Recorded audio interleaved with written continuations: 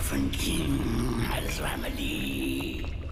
Together we will devour the very core.